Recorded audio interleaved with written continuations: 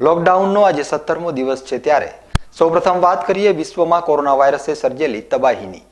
તો વિશ્વમાં કોરોના વાયરસના અત્યાર સુધીમાં સોળ લાખ પંદર હજાર પાંચસો સત્યાસી પોઝિટિવ કેસ નોંધાઈ ચૂક્યા છે અને છન્નું હજાર સાતસો ચોરાણું સુધી મૃત્યુ આંક પહોંચી ગયો છે.